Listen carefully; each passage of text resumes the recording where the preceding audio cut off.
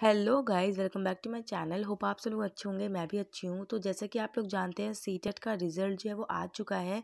C TET जनवरी 2024 में जो result, जो एग्ज़ाम हुआ था, उसका रिज़ल्ट आ चुका है। उसके लिए आपको करना क्या है, एक लिंक है जो कि मैं आपको अपने टेलीग्राम पर प्रोवाइड करूँगी। आपको कमेंट सेक्शन या डिस्क्रिप्शन में जाना है और वहाँ पर टेलीग्राम का लिंक होगा, उस पर क्लिक करना है। उस पर क्लिक करने के बाद कुछ इस तरह का इंटरफेस आएगा। जिसमें से ये मैंने लिंक ऑलरेडी शेयर कर चुकी हूँ, मैं यहाँ पे आपको क्लिक करना है। क्लिक करते ही कुछ इस टाइप का इंटरफेस आएगा, जिसमें आपको यहाँ पे जो है वो अपना रोल नंबर एंटर करना है।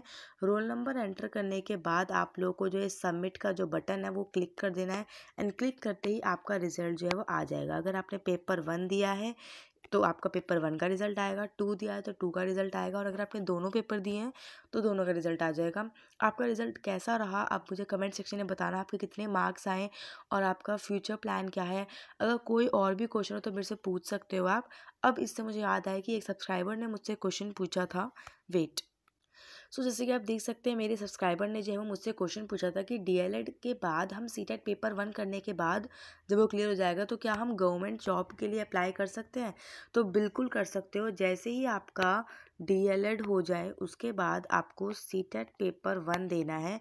And you are ready to go for government and private both आप इसके बाद गवर्नमेंट के लिए अप्लाई कर सकते हैं, बिल्कुल कर सकते हैं। तो अगर आपका पेपर क्लियर हो गया है तो आप मुझे कमेंट सेक्शन में बताइएगा कि आपके कितने मार्क्स आए हैं और कोई भी क्वेश्चन हो तो आप पूछ सकते हैं।